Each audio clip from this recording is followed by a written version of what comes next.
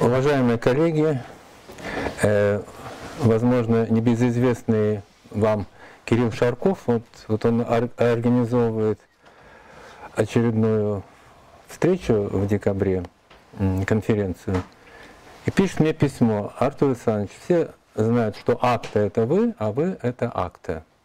Надеюсь, что в этой аудитории тоже есть люди, которые знакомы с этим методом. И вот, пожалуйста, как говорят французы, вуаля. Э, хотите новенького? Вот аналитика катартической терапии с позиции идеологического подхода. Рассмотрим эту проблему.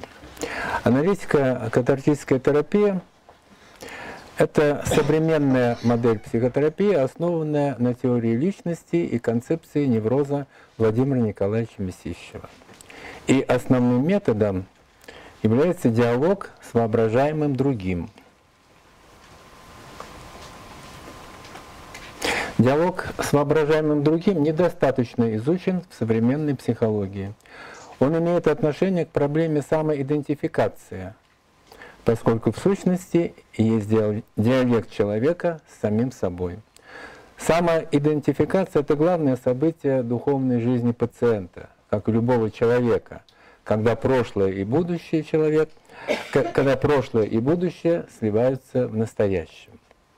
В актор самоидентификация является результатом катарсиса интеграции, кульминационного момента психотерапии. Познай себя. Э, это, пожалуй, э, главный девиз любой личностно ориентированной психотерапии. Эти слова начертаны над входом в Дельфийский храм Аполлона. И приписывается эта знаменитая фраза э, Сократу. Вот он говорил, душа, если она хочет познать самого себя, должна, должна заглянуть в душу другого человека и увидеть себя в ней, как в зеркале. Следовательно, для самопознания человеку необходим другой, необходим диалог. Цель доклада.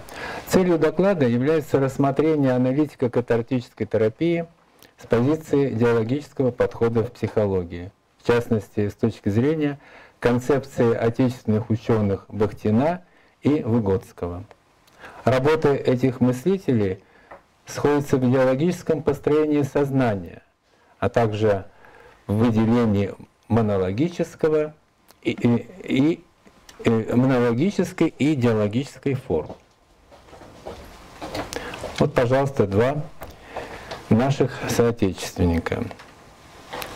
Слева Выгодские, справа э, Бахтин.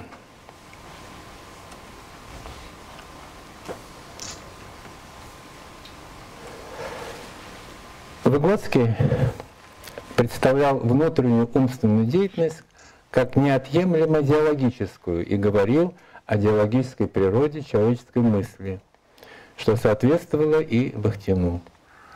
Для Выгодского диалог — это конкретный психологический эквивалент социальной природы мысли. Это совокупность всех социальных отношений, конструирующих человеческую сущность.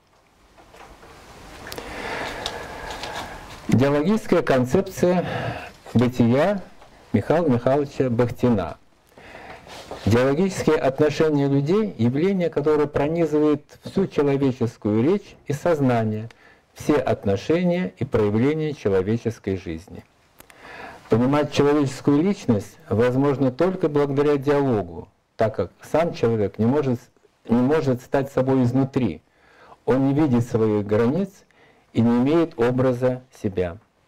Его бытие становится определенным благодаря существованию других, благодаря оценкам и отношению других. Человек получает некоторую определенность, становится чем-то. Вот, пожалуйста, схема э, диалога с, со значимым, с воображаемым значимым другим в аналитико-катартической терапии. Вы видите, что по существу это не диалог, а это триалог. Здесь присутствуют три фигуры. Это пациент, его «я», это визави, значимый другой, что является проекцией «я», и терапевт, терапевт находится между пациентом и его проекцией. И главная техника, которую терапевт использует, называется дублирование.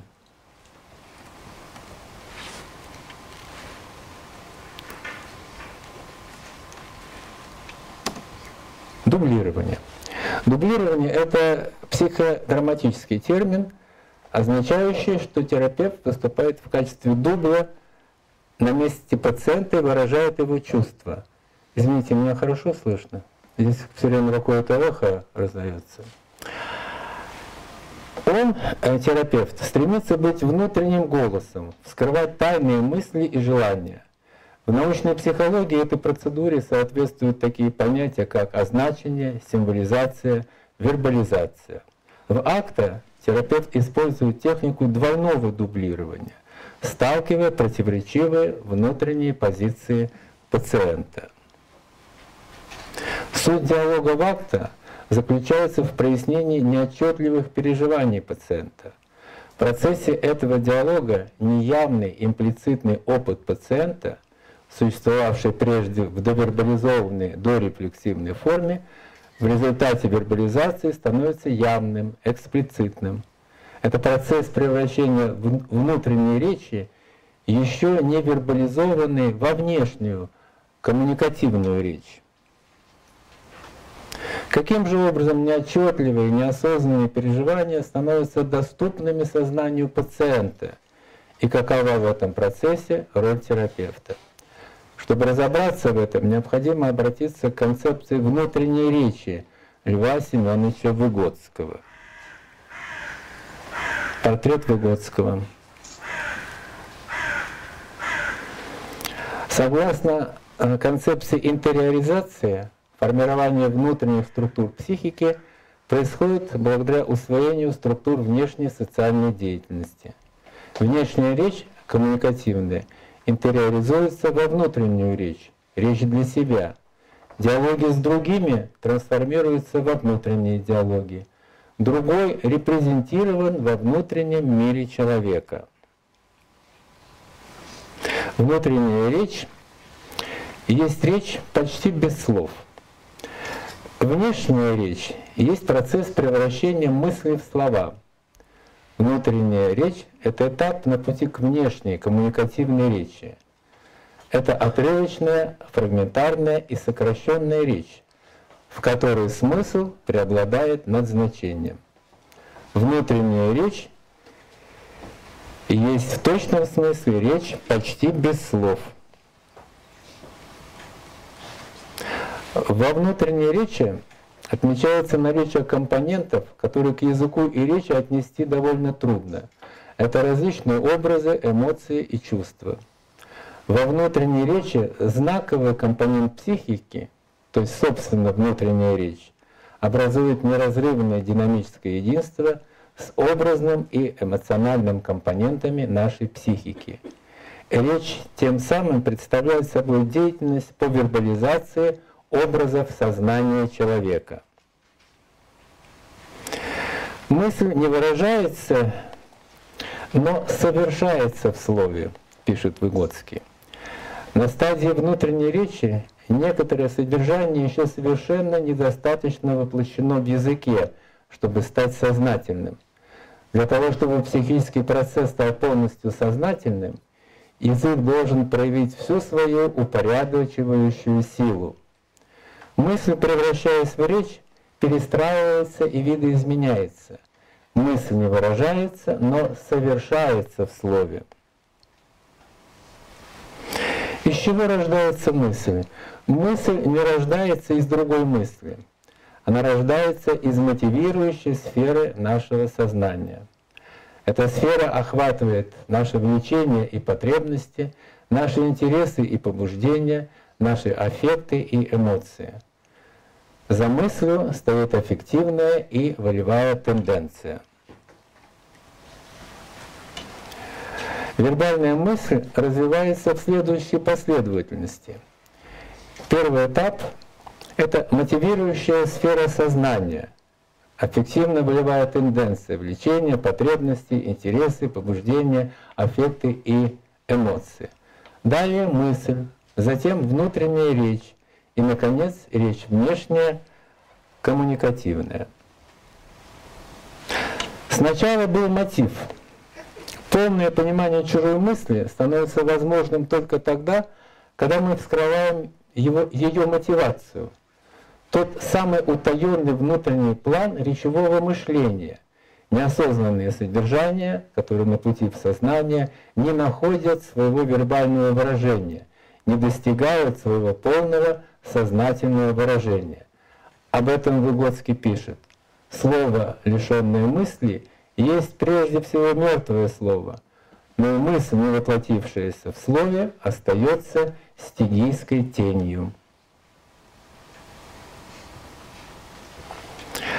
Выгодский предполагал, что внутренний диалог — это диалог с нашим подсознанием. Бессознательной речью является наша внутренняя речь. Она не прорывается в состоянии бодрствования, но осознается нами очень редко.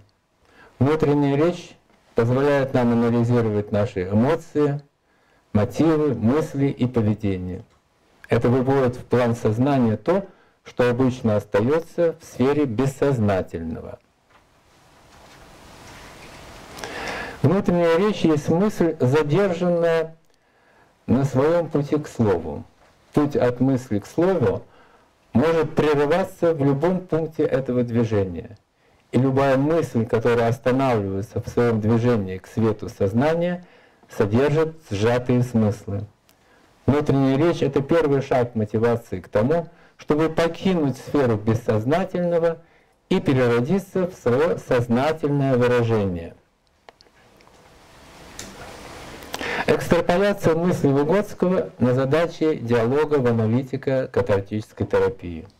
Очевидно, что одной из причин задержек превращения мысли в слово является затруднение в вербализации пациентом своих переживаний. Это результат работы психологической защиты – Именно этот феномен служит мишенью терапевтического воздействия в диалоге акта. Терапевт помогает пациенту вербализовать неотчетливые переживания, осознать его замысел, превратить тайное имплицитное в явное, эксплицитное. В процессе двойного дублирования актотерапевт прибегает к вербализации как на глубинном, до речевом, до сознательном уровне, так и на более дифференцированном, сознаваемом уровне. А значение на доречевом уровне осуществляется через эмпатическое отражение элементов внутреннего мира пациента. В отличие от клиент-центрированной психотерапии, акта не ограничивается кларификацией и отражением чувств.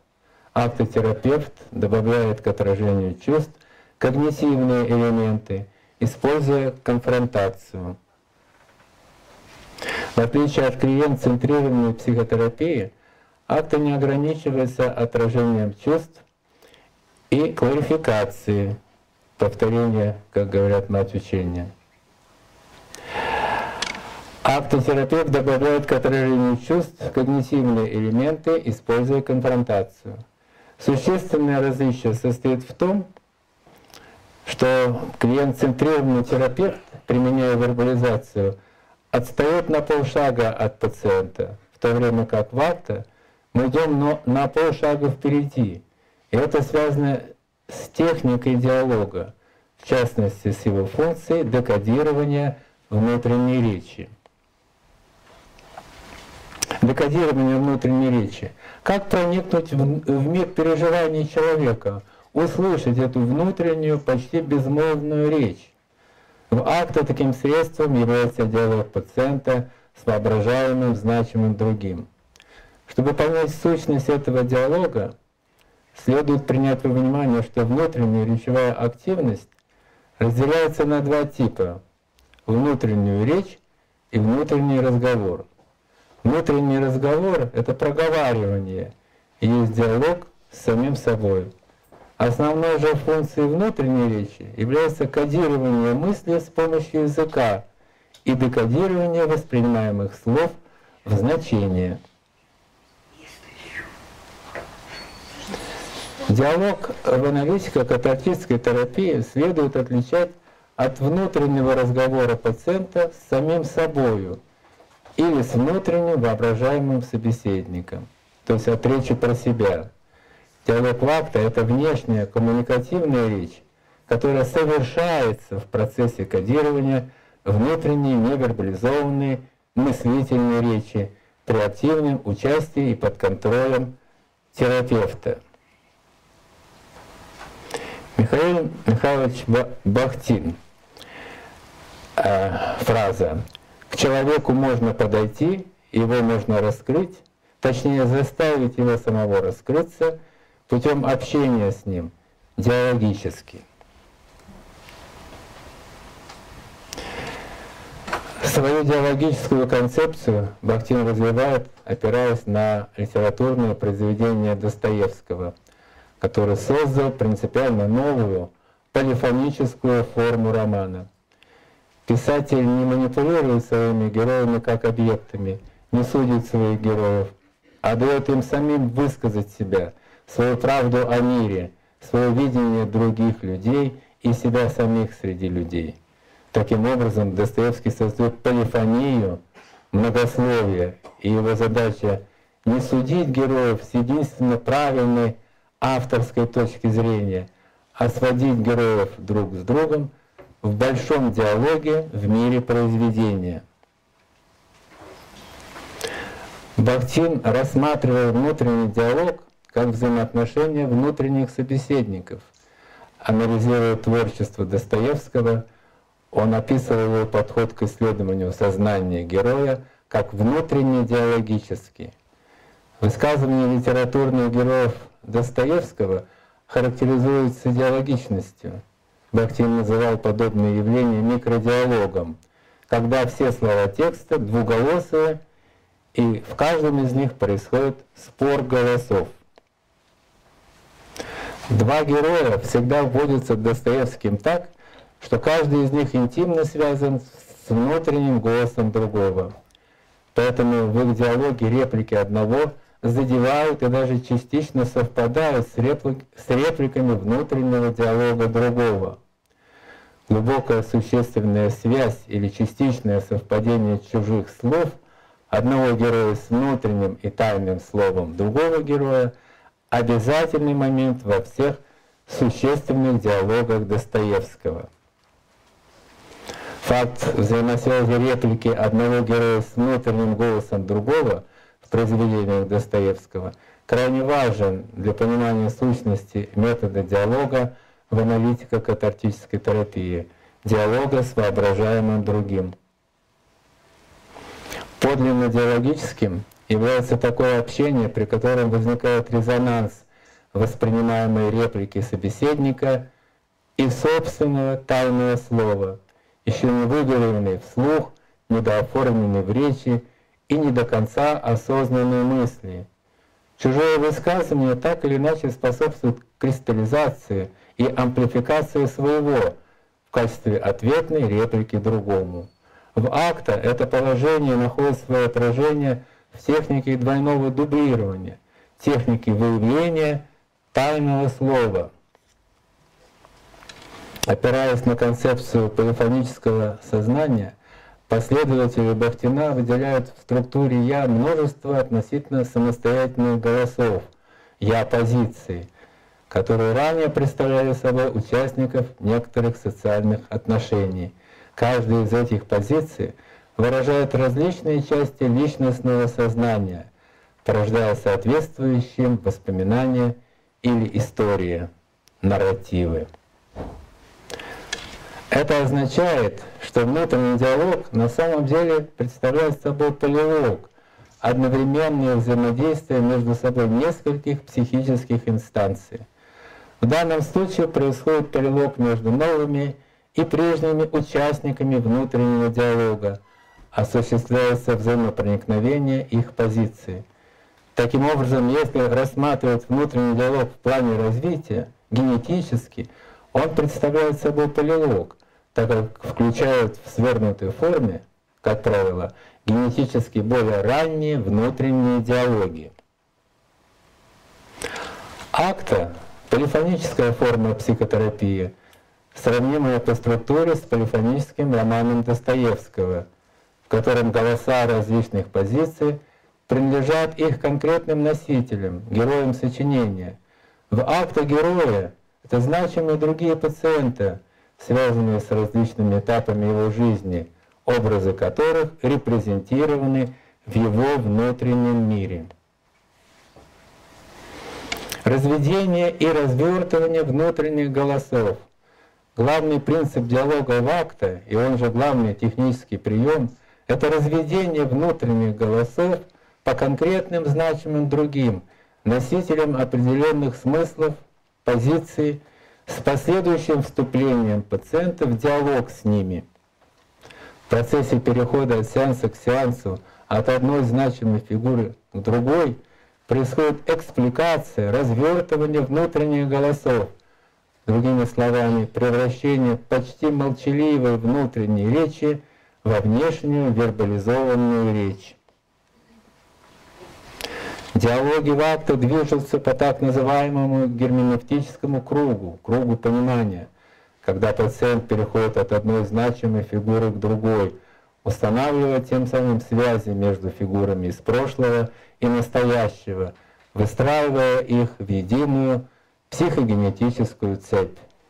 Понимание связи внутриличностной проблематики с межличностной конфликтностью приводит к росту самосознания и прежде всего осознанию своей роли в конфликтной ситуации, интеграции личности и коррекции нарушенных отношений. Роль терапевта. В акта роль рефлексии и анализа выполняет «я» пациента, которая раздваивается во внутреннем диалоге на две противоречивые позиции — «я» и проективное «я». Третьим же участником является терапевт, он также наблюдает и анализирует, но отождествляя с обеими позициями пациента, способствует тем самым самоотождествлению пациента. Кроме того, терапевт отождествляется с реальным значимым другим, и благодаря этому осуществляется связь внутреннего мира пациента, субъективного мира, с внешним, реальным миром.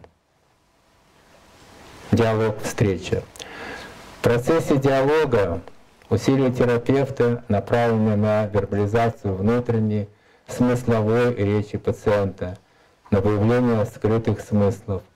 Внутренний процесс конструирования речи становится внешним и тем самым доступным для исследования и терапевтического воздействия. Терапевт становится соучастником процесса вербализации мыслей пациента, процесса его мышления — Терапевт стремится к тому, чтобы его голос был созвучен тайному слову пациента. Когда голоса терапевта и пациента сливаются в единый голос, тогда, по выражению Бахтина, происходит встреча двух сознаний. Вот почему пациент и терапевт переживают катарсис одновременно. Спасибо за внимание.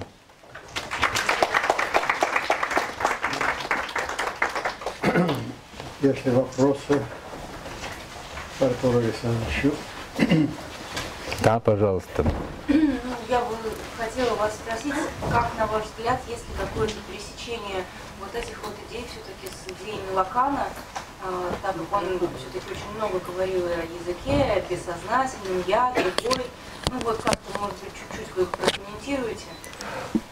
Ну, с работами Лакана я знаком весьма поверхностно. Ну, там, читаю скорее не самого Лакана, а тех, кто о нем пишет. Поэтому здесь я ничего такого глубинного сказать не могу. Конечно, это речь идет о лингвистике, конечно, это э, семиотика и вот эта вся э, сфера, и здесь, конечно, очень много общих позиций.